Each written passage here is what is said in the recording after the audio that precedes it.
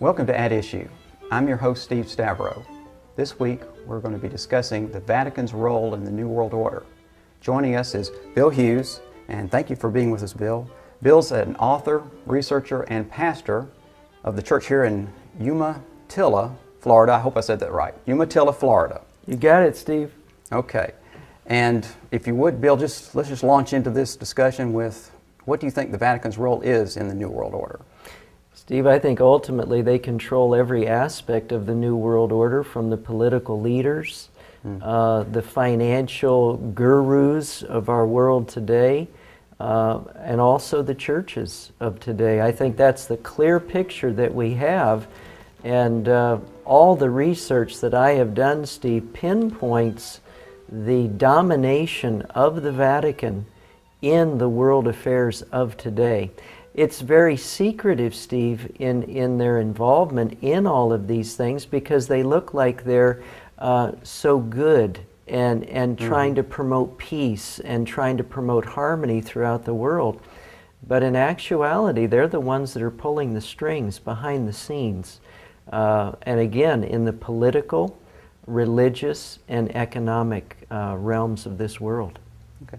And for those who are not familiar with the workings of the Vatican, maybe we should just touch on who controls the Vatican when we say that word, what, that, what the Vatican means, um, the, the papacy, of course, but maybe who is controlling the papacy and who, who do you see as wielding the power behind the throne, as to, to say it in a certain way? Well, in a, in a um, spiritual context, Steve, Vatican means the divining serpent. Hmm.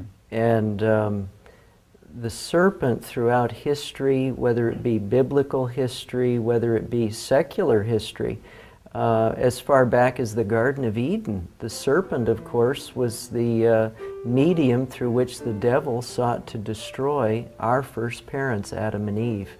So ultimately, um, the devil is behind the Vatican. Now, when you look at in a in a in a um, human point of view, uh, it's clear from history that the Jesuit order, which is the military arm of the Catholic Church, that they control the white pope, the one who we all see out in front. Uh, at this point, of course, it's Pope Benedict XVI. But uh, ultimately, the one behind the white pope is the black pope, the Jesuit general. And when you say the military arm of the Vatican, I think it's important that we say you're not speaking hyperbole, you're speaking literally. They have a history of being assassins. If we could touch on just a few things in their history, maybe that's the way to approach this. Let's go back to 1517, Martin Luther's come on the scene, and the whole Protestant Reformation has begun. When you look at history, Martin Luther nailed his 95 Theses on the door at Wittenberg in 1517. And uh, from there, uh, of course, he stood before the Diet of Worms and Charles V in 1521. Uh, the Reformation spread like wildfire because people for centuries had listened to tradition and had listened to lies and myths and, and foolishness. And so when Luther came in with his two great themes, one of sola fide, by faith alone, and the other sola scriptura, the Bible and the Bible only, Steve, these sent a shock wave throughout Europe. And the Vatican, that had stood so strong and so powerful for so long, they were shaken at their very foundations.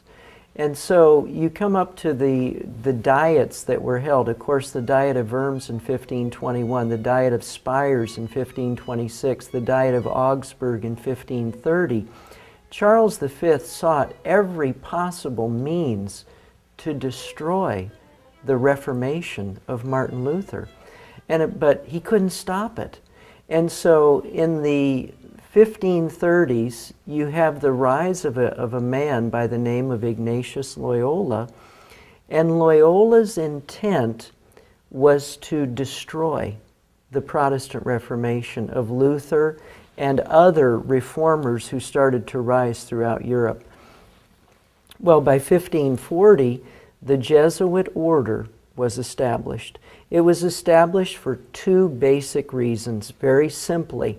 It was established, number one, to destroy everything that the Protestant Reformation stood for. And the other thing is that as it would destroy the Protestant Reformation, it would reestablish the authority and power of the Roman Catholic Church.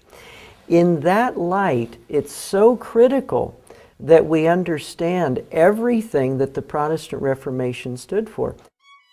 Most people who still understand the Protestant Reformation think it was simply a religious movement. Well, of course, it was a powerful religious movement, but it infiltrated, it, it filtered into every aspect of human life. It had uh, power and authority in government because prior to the Reformation, there had been no such thing as republican government. It had all been uh, monarchical, where you have a person dominating the populace. But the Protestant Reformation brought in the idea and the principle that there could be republican, representative government. Um, in the economic realm, through the Dark Ages, when the papacy ruled, you had the wealthy class, you had the very, very rich, you had the very, very poor. Well, the Protestant Reformation brought in the concept of a middle class, that people could earn a living and based on their talents and their skills and their hard work, they could make their own money. So the Protestant Reformation brought in representative government, it brought in a middle class, and then, of course, in the religious arena, it brought in the fact that people could worship God not as their pope or their priest told them to do, right. but they could go to God through Jesus Christ and not have to go through any man. So no, no middleman. No middleman, Steve. That's exactly right. right. So these concepts, they came, and these are the fruits of the Protestant Reformation. And wherever you see those things, it's because of Protestantism. And wherever you see them under attack, you know that you see the footprints of the Jesuits. And just real quickly, Steve, without getting too far off, when you see what happened in the in the 1990s with Jesuit trained president Bill Clinton who went to Georgetown University when he passed the North American Free Trade Agreement called NAFTA which sent just thousands and thousands of middle class jobs out of the United States of America and sent them to third world countries Steve, you can see the footprints of the Jesuits all over that document to destroy the middle class in the United States of America. So that two classes could be developed in this country. A, an attempt to get us back to the Dark Ages, back to where you have, the, as you're saying, the wealthy, the poor, but on top of both groups, you have the papacy. Absolutely, Steve. The papacy being uh, the, the man who is God. And, and this, these are s- several papal statements. These are bulls that are, that are, I'm not sure if they're bulls, but there are statements being made throughout history that the Pope is Jesus Christ on this planet. Oh, absolutely. Absolutely. There's a host of Catholic documents where the Pope takes the name of God Lord God. He claims to be the vicar of Christ. On his tiara throughout history, it has always read Vicarius Filii Dei, which means I am the agent of God. I am God on this earth.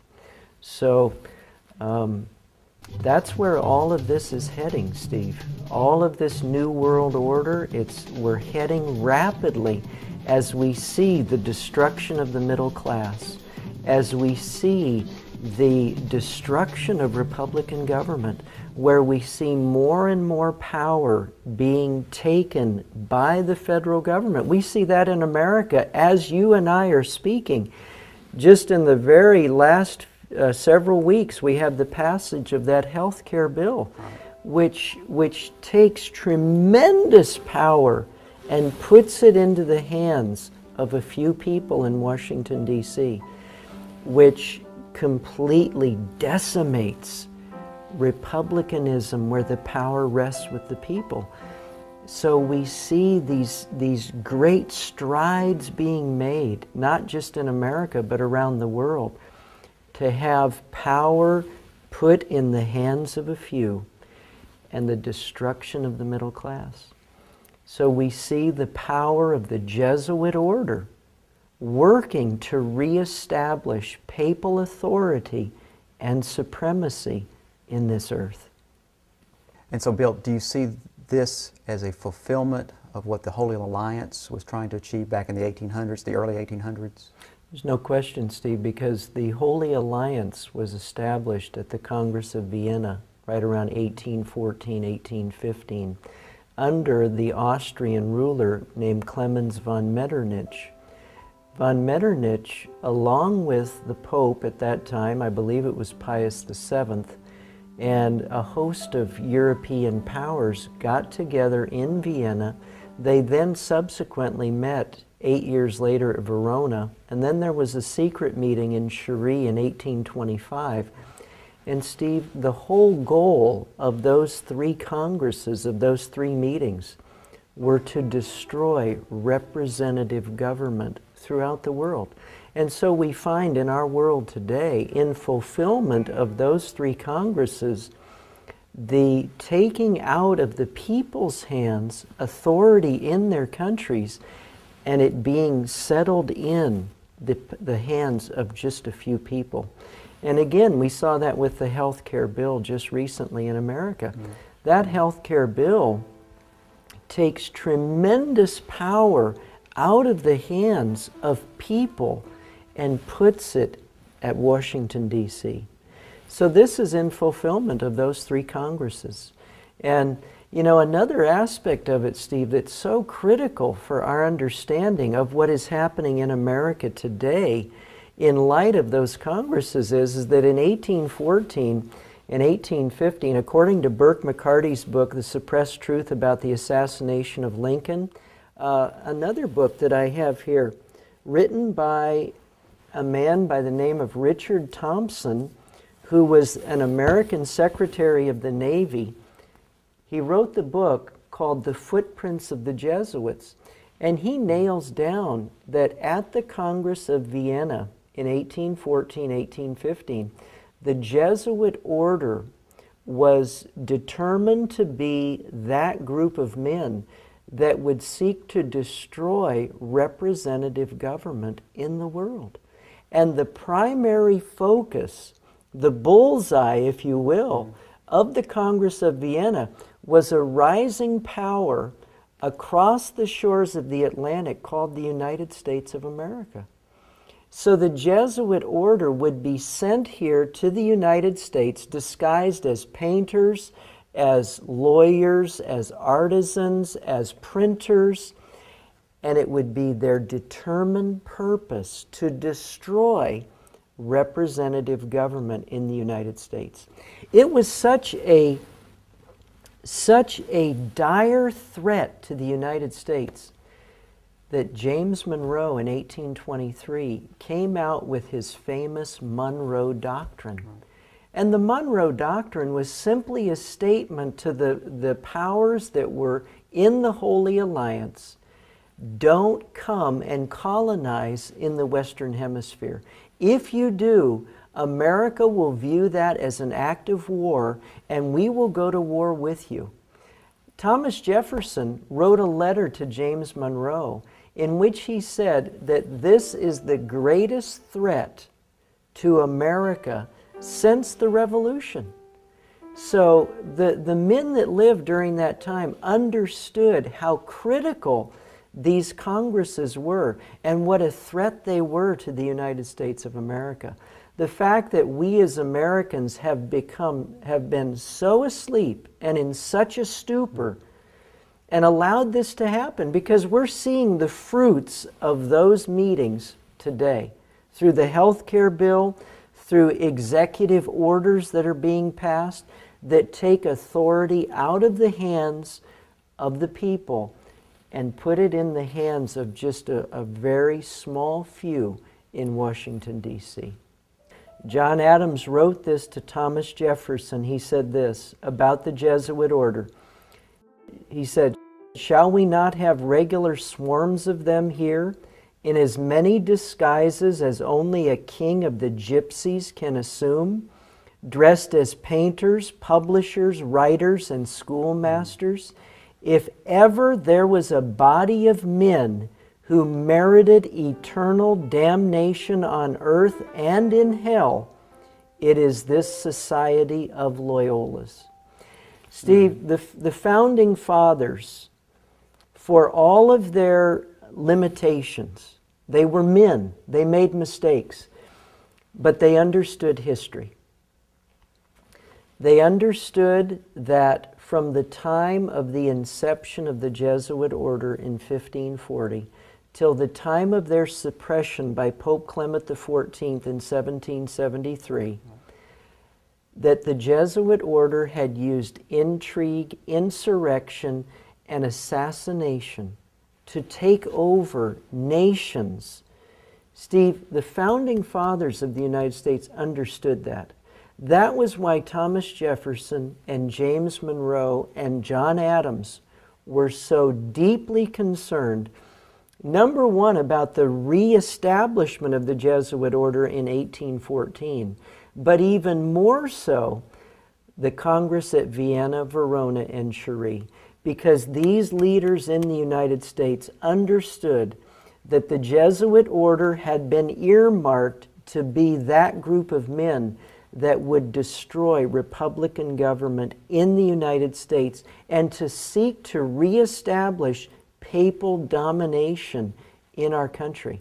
They understood that, Steve. That's why the Monroe Doctrine was written. That's why John Adams made the statement he did. And that, Steve, is why Samuel B. Morse, the famous inventor of the Morse code, wrote his two famous books, one published in 1835 called Imminent Danger to the free institutions of the United States through foreign immigration, and his other classic book that he had published in 1844 called Foreign Conspiracy Against the Liberties of the United States. These men, Steve, understood that the Jesuit order would do whatever it took, based on history, they would do whatever it took to destroy representative government in the United States, to destroy the middle class in the United States, and to destroy and take over all of the churches in the United States. And we are living today in that time, and we're seeing the fruits of those congresses and the effective workings of the Jesuit order in this country. So, what do you think about, let's contrast for a moment, the scene in the 1800s when presidents like Monroe and Jefferson and Adams are against the Holy Alliance, namely the Pope and the kings of Europe, uh, trying to infiltrate and, and control this country, destroy representative government. And today, when you've got presidents like George Bush, former President George Bush, and Obama and these others racing to meet the Pope every time they can, and, and actually bowing down to him on occasion. We've got pictures of that what we have in the United States today is we have the, uh, for, for the most simple, we, we have the ripe fig in, in the crystallizing of Jesuit takeover in this country. They have they take over, they produce their political leaders. George Bush was trained at Yale, he was a part of Skull and Bones. Skull and Bones is clearly connected to the man who started it in America, William Huntington Russell, had gone to Europe, had been in some Illuminati meetings in Germany, came over to America to start a chapter of Skull and Bones in America based on the Illuminati meetings he attended in Europe. And it's very, very clear that the man who created the Illuminati, Adam Weishaupt, was simply a Jesuit foot soldier. When he started the Illuminati in 1776, he was teaching at Ingolstadt University, a Jesuit university in a stronghold of Jesuitism in Germany called Bavaria. And the principles of the Illuminati are the principles of the Jesuit order. So you have the Jesuit order, you have the Illuminati, then you have Skull and Bones. And so the Jesuit order, through Skull and Bones, has crystallized their plan to train political leaders in this nation. George Bush Sr., George Bush Jr., both members of Skull and Bones, take the Jesuit agenda into the White House. And what is the result of that? What did you have? You have 9 11. And George Bush coming out after 9 11 with the New Patriot Act, which was actually pinned by a Vietnamese refugee who has now come to America, who pins, he was trained at Georgetown, which is the preeminent Jesuit university in America, pins the New Patriot Act, which literally decimates decimates our freedoms. So that now people will call me on the phone, Steve, and they'll say, Did you write those books about those jays? And I'll, and I'll say, Jays? I didn't write any books about birds. I wrote books about the Jesuits. Is that what you mean? Steve, people are afraid. Right. Because our liberties, our privacy, it, it's been taken over. It's been gutted. It's been gutted. That's, that's right. And so here is a man, George Bush, Jesuit trained, vows that he will obey the Pope and the, the uh, Black Pope when he takes his initiation rites with the skull and bones at Yale passing the new Patriot Act, which destroys your freedom and my freedom. In the prior to September 11th, George Bush dedicates a cultural center to John Paul in Washington, D.C., on the very soil where Abraham Lincoln was assassinated by Jesuits uh, in 1865.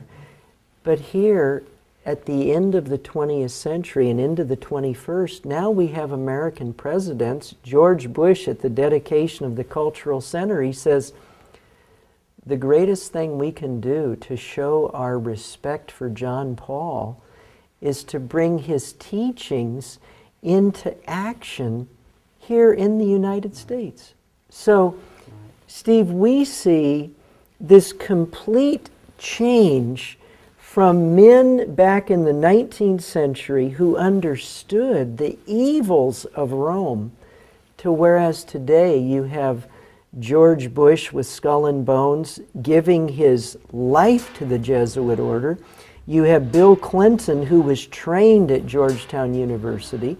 You have Barack Obama, who it's very, very clear has one Jesuit trained member on his staff after another. The only one that comes to mind right off is Leon Panetta, who is the head of the CIA, CIA, who was trained at Santa Clara University, which is a Jesuit university on the West Coast. So uh, Barack Obama is surrounded by Jesuit trained men. And his vice president is a Roman Catholic. Joe Biden. Joe Biden. A devout Roman Catholic. The head of the House is Nancy Pelosi, Roman Catholic. Absolutely. In fact, when Nancy Pelosi was uh, brought in as the Speaker of the House, she brought onto the floor of the Congress her Jesuit mentor, Stephen Privett, to mm. address the Congress of the United States. The first time in American history that a Jesuit priest had addressed the Congress of the United States.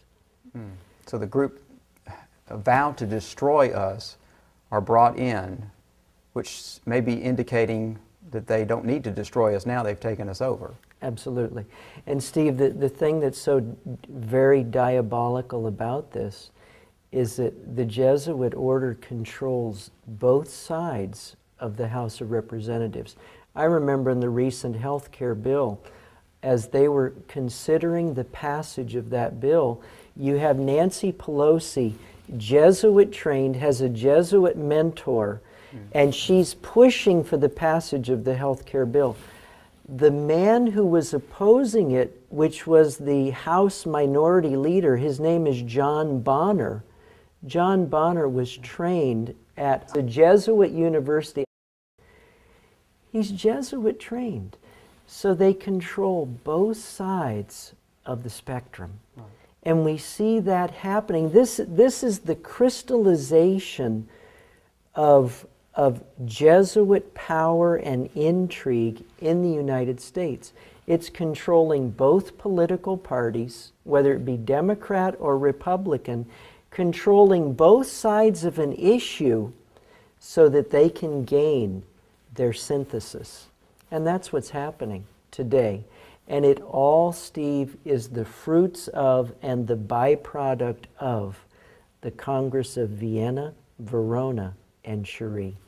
And instead of our political leaders today warring against it, as Jefferson and Monroe and Adams did, now we have American politicians who are slaves to the Catholic Church and the Jesuit order. And I guess a lot of people are wondering why others in the Protestant uh, arena aren't speaking out. The Billy Grahams, the uh, Robert Schullers, why are they not speaking out, in your opinion? Steve, it's very, very clear from a statement that a trained Jesuit priest who escaped from the Jesuit order made his way here to the United States while he was under oath as a Jesuit in his training. He was told something. The man's name was Alberto Rivera. In a, in a little magazine, it's called The Godfathers, put out by Chick Publications. Alberto Rivera made a startling statement in which he said there would be a sign given to Jesuits throughout the world when all churches would be taken over by the Jesuit order. This was, and I'll read the statement to you. Okay. It says this Alberto Rivera, the sign was to be when a president of the United States took his oath of office facing an obelisk. For the first time in U.S. history, the swearing in ceremonies were moved to the west front of the Capitol, and President Reagan faced the Washington Monument. This happened January 20th, 1981. Steve, the Jesuit order was raised up to destroy everything that Protestantism had done, to destroy representative government, to destroy the middle class, but also, Steve, to destroy the voice of protest throughout Protestant churches. We're not protesting anymore, Steve. Right, there's, there's silence. Billy Graham is not, he didn't protest towards the latter part of his life. For the first part, I think he was solid when he first started. But along around the early 60s, his voice was silenced. Robert Schuller, uh, Paul Crouch, um, Hal Lindsey, um, Pat Robertson, James Dobson, all of these men, they're not protesting. What they have become is are agents, agents of Rome. And what we have developing in our country right now, Rome again controlling both sides of the pendulum. As a, as a German philosopher by the name of George Friedrich Hegel, when he identified the best way to, to create change and to get what you want to happen, it's called the Hegelian dialectic. And what you do is you control both sides of a situation, whether it be political parties or ideologies, but you control both sides so that you can create your synthesis. And today in the United States, the Jesuit order controls the very, very liberal, radical element that we find in the White House today, in Barack Obama, um, and the control that he is gaining daily in this country. But we also have the Tea Party movement, the religious right, the conservative element uh, run by Dobson and Robertson and and some of your talk show hosts like Glenn Beck, uh, Sean Hannity, Bill O'Reilly. The Jesuits control both sides of this, Steve, and it's their desire to create such chaos, and that's what we see in America today such chaos, the radical and the ultra conservative, and there will be a clash. And in the aftermath of that clash, Steve, they will get their synthesis. But that's where we're heading today, rapidly in this country. I don't think many people know that Fox News, uh, the, the owner of Fox News is Rupert Murdoch. He's a Knight of Malta. And maybe if we could talk about for a moment, what, what are Knights of Malta? What, what, who are those people? Well, Steve, there are so many different organizations that are called the Knights of something uh, whether it be the Knights of Malta, the Knights of Columbus, the Knights of the Golden Circle, which John Wilkes Booth was a part of, uh, and who claims that they were the ones responsible for the assassination of Lincoln. Steve, I have found in, in researching all of these different groups of knights, if you take it back to their ultimate source, uh, they were created by Catholic or Jesuit priests. And all of these groups, Steve, have specific functions that they carry out on behalf of the white and the black pope. And Rupert Murdoch, as a Knight of Malta, William Casey, who was a Knight of Malta, who headed the CIA during the presidencies of, of Ronald Reagan and I believe of George Bush. Um, wherever you see these men, Teddy Kennedy was not a Knight of Malta, but he was a Knight of Columbus. Uh, all of these men, Steve, are working on behalf of the Roman Catholic Church. Glenn Beck, Sean Hannity, Bill O'Reilly, Rupert Murdoch, they're pushing this agenda over here to combat the agenda of Barack Obama. What Americans do not understand, Steve, because it's hidden, is that Rome is behind it all with their synthesis waiting in the wings. And maybe we should touch on the fact that the Catholic laity are not we're not, we're not speaking against them per se. Uh, I have relatives who are Roman Catholic, and they have no idea who the Jesuits are or what they're capable. If they do know of the Jesuits, they're not uh, uh, uh, in the knowledge about what they do and what they are capable of doing. Steve, this, this has nothing whatsoever to do with individual Roman Catholics. There are, there are many many devout Roman Catholics throughout the world. Um, many of my, a lot of my family on my wife's side are, are, they consider themselves Orthodox Christians. But in the final analysis, they're Roman Catholics. And there's so many fine Roman Catholic people. This has nothing to do with them. Um, this is simply about a hierarchical structure that for centuries has been hell bent on world domination and doing anything and everything necessary to bring about that world domination. If it means the destruction of, of, of leaders, if it means creating depressions, if it means destroying people's economies, it makes no difference. Um, it's simply about control and domination.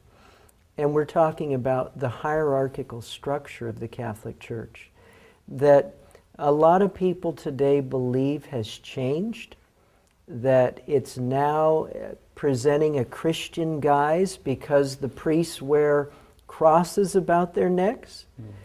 But the Catholic Church themselves have declared we do not change. And um, given the right atmosphere, the Catholic Church will come forward um, and will seek to give what they feel will save this planet, Steve. And it will be the ultimate demise of this world. And I think we ought to touch on the Council of Trent and what came out of that council back in the, uh, get the dates right, uh, well, middle 1500s, I would it was a span of 13 years the Council of Trent was conducted or so. Uh, what came out of that, and has that been renounced at this point in time, or?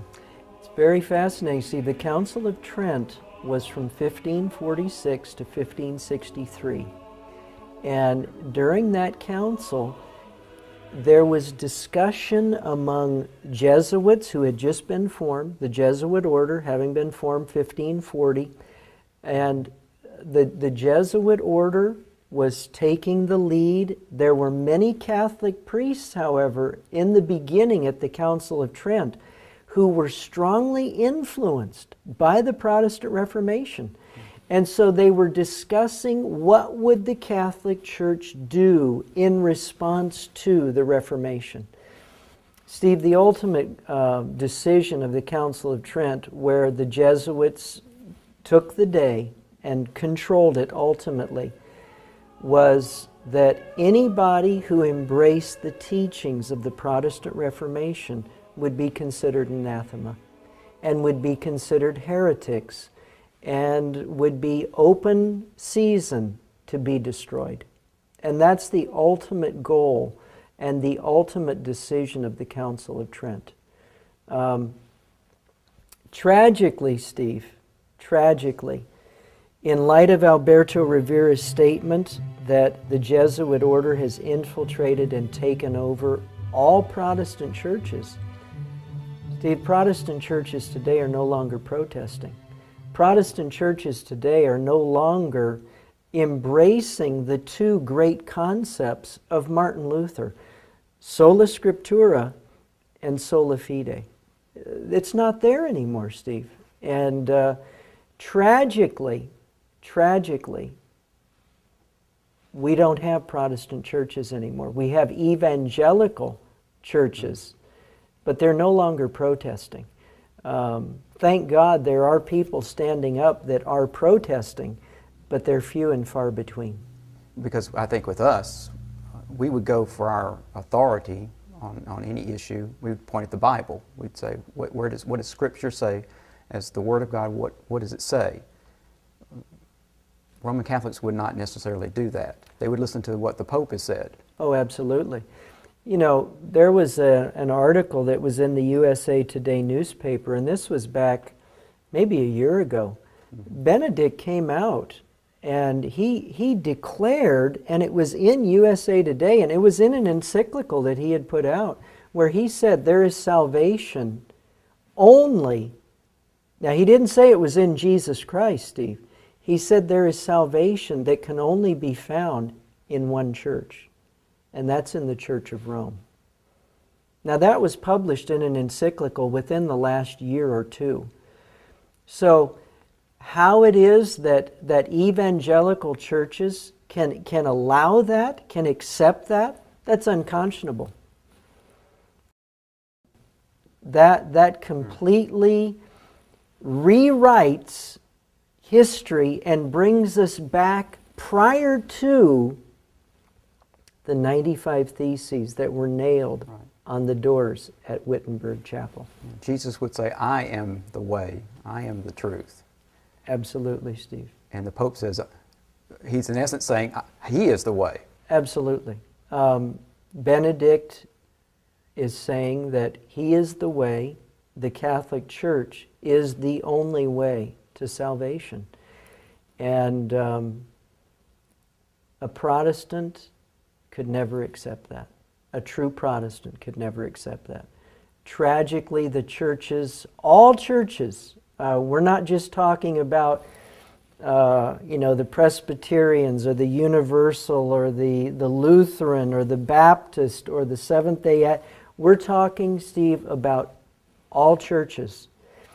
Alberto Rivera's statement, it applies carte blanche across the board. Every church has been infiltrated and taken over.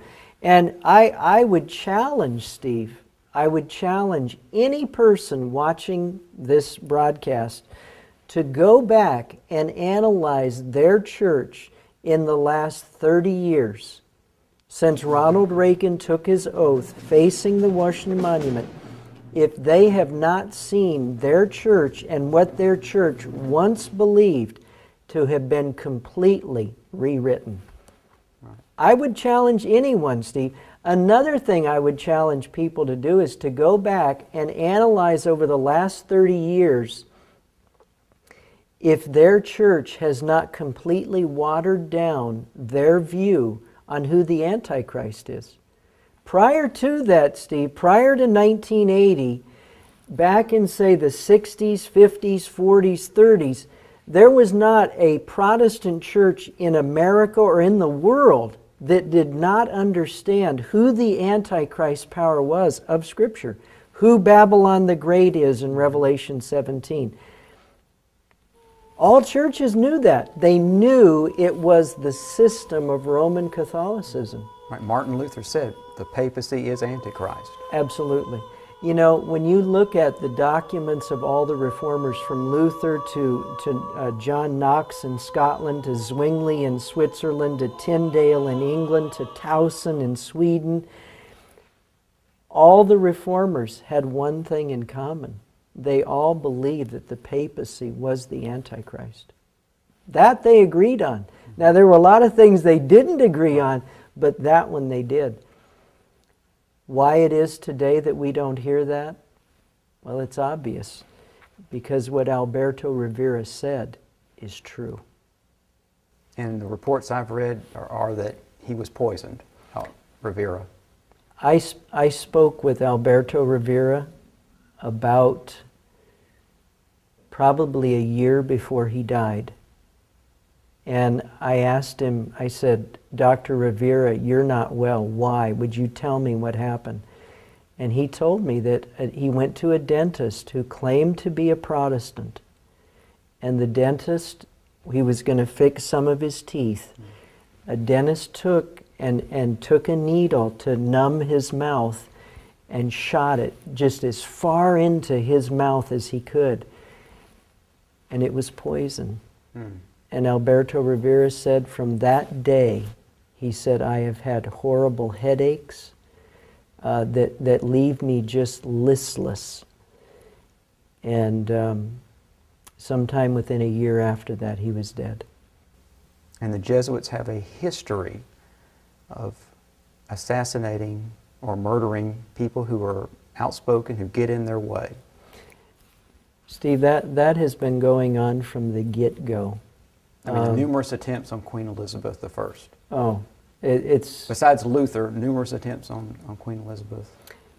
We, we established, Steve, it's a fact of history. The Jesuits were started in 1540. From that point, you have in Queen Elizabeth came into power in 1558 ruled for the next 45 years in England till 1603. During that time period, because she refused, this was her only crime, she refused the supremacy of the Pope in her kingdom. She refused to allow the Pope to control her throne. There were at least a dozen plots on her life. If if it had not been for the intervention of God and the work of her immediate assistants, a man by the name of Francis Walsingham and Lord Cecil. These two men matched wits with the assassins who tried to kill Elizabeth, and these two men protected her with the power of God, of course. Because all of those attempts failed, Steve, Philip II of Spain, who was a devout Catholic, he was the son of Charles V, who tried Luther at Worms. Both Charles V and his son Philip II both used all of their wealth, all of their political power to destroy the Protestant Reformation. Well, when Elizabeth could not be killed, Philip II and the Pope at that time, they got together and Spain built the most powerful fleet of ships that had ever been assembled. It was called the Spanish Armada. The purpose for the Spanish Armada was one. It was to go up the western side of Europe and to go right up into England and destroy the throne of Protestant Queen Elizabeth. That was the whole reason for it. The movie that, that came out within the last few years, I think it's called Elizabeth the Golden Age, d- discusses this, and, and, and, probably one of the things that she says, and the actress says in the movie, is that a gentleman in the bowels of the ships is the Inquisition. Okay. And be ready. If they land, we will have to face that. Oh, that's a true statement, Steve. That's indeed a true statement. Elizabeth was only one, Steve. Uh, right in that same time frame of Elizabeth from 1558 to 1603, you have William of Orange in the Netherlands. William of Orange had been in the court of Charles V. He detested what Charles V was doing in in his power as the Holy Roman Emperor and his determination just to destroy and, and to squash all of, of, his, of his subjects, William of Orange, he became the leader of the Netherlands and sought to bring religious freedom to the people of the Netherlands. He was killed in 1584.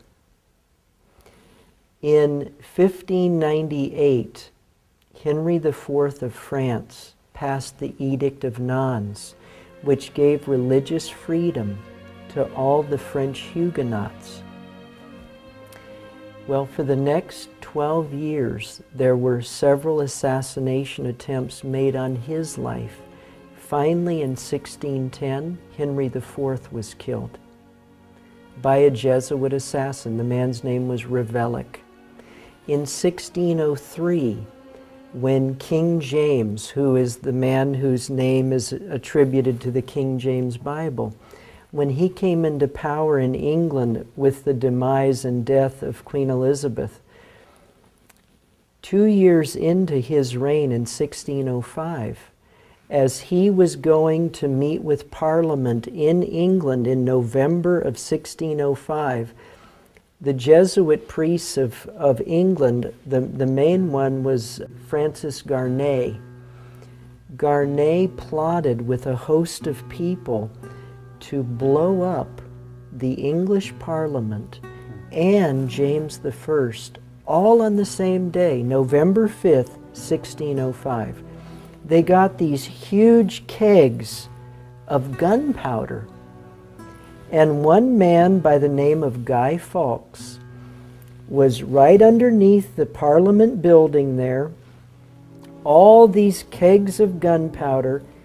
Steve, he was going to ignite them and blow Parliament and King James into eternity.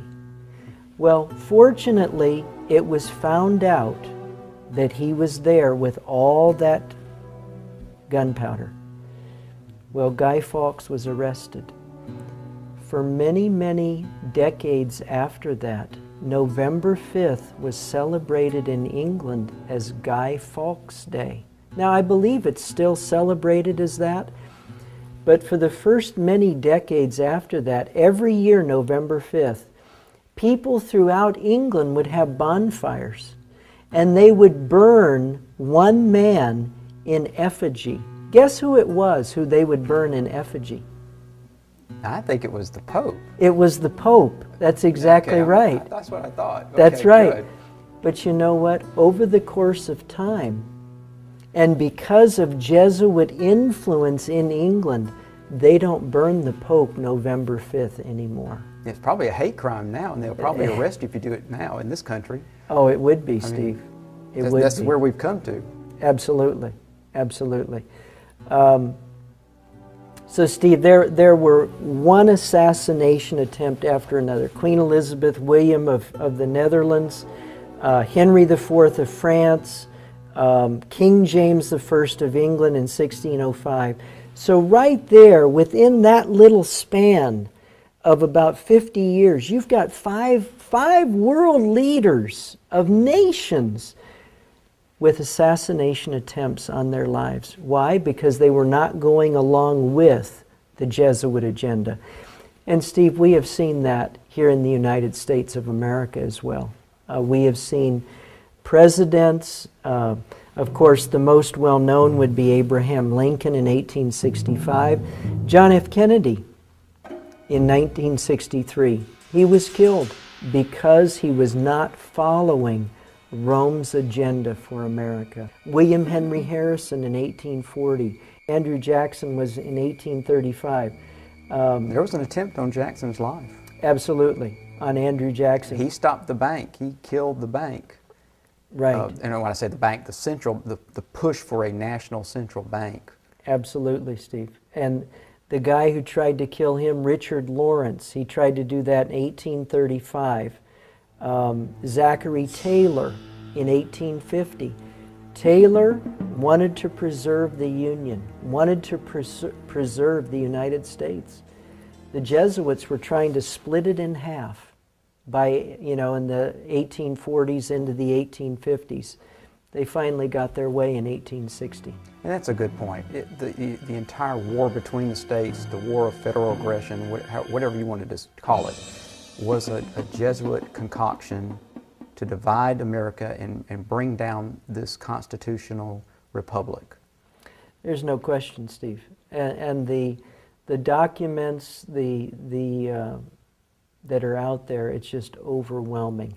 One man, um, after the assassination of Lincoln, who was on the military commission that tried the assassins of Lincoln, uh, it was a conspiracy, Steve, to not only kill Lincoln, but to kill Andrew Johnson, the vice president, to kill William Seward, the secretary of state, and also to kill Ulysses S. Grant, who was the head of the Union forces.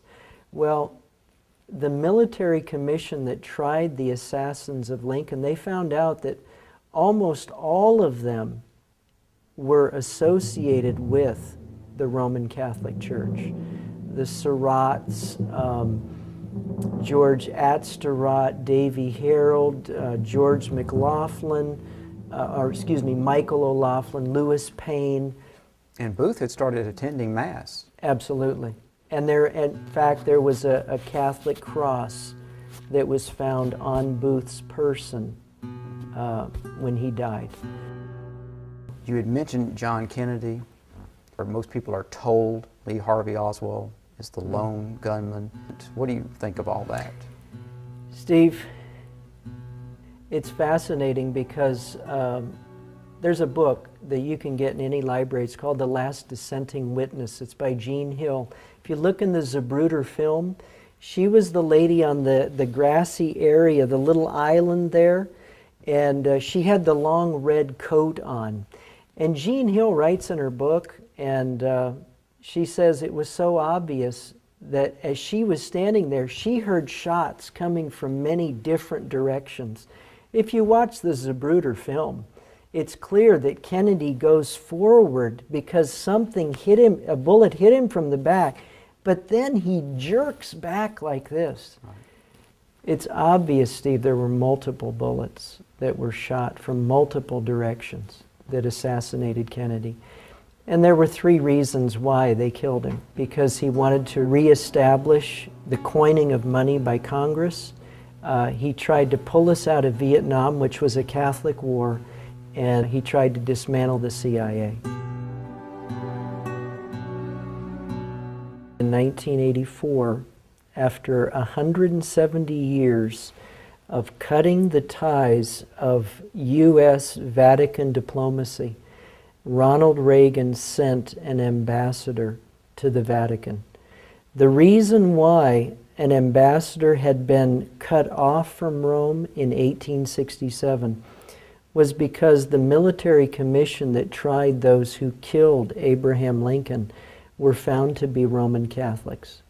And so the U.S., in protest, withdrew their ambassador from Rome. Well, 117 years later, 1984, Ronald Reagan sends an ambassador to Rome.